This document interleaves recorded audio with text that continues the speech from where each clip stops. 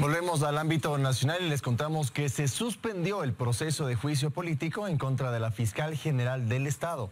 La decisión fue tomada con el voto de cinco integrantes del Consejo de Administración de la legislatura. Veamos.